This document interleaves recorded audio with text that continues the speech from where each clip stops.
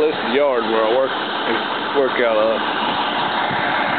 We got the cement over there.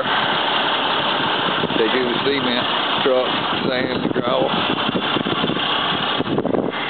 And then you got the big Hyundai.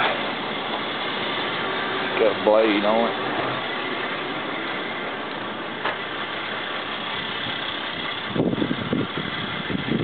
That's the outriggers.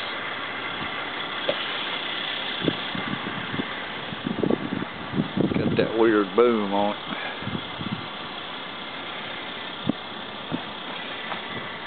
And this here is what I've been running today. And we got a loader over here too.